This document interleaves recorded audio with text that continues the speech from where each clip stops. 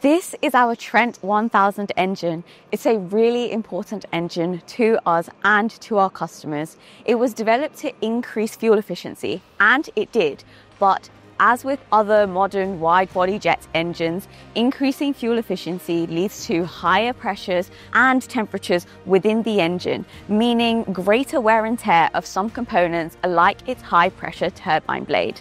This leads to increased maintenance frequency and less than expected time on wing. Not acceptable for us or for our customers. So we took action.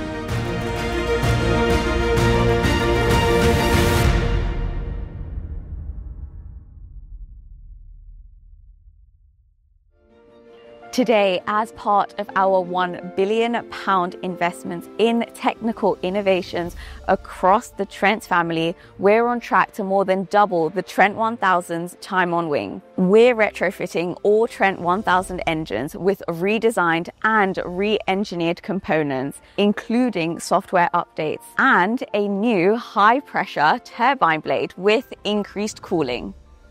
Air pushed up through the core of the blade then flows out of tiny holes to wash the blade with a thin film of cooling air.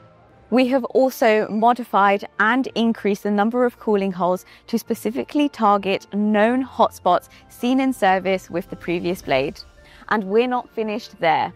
We're already testing further durability improvements for the Trent 1000 and its sister engines, the Trent 7000. And that means more aeroplanes back where they belong, in the sky.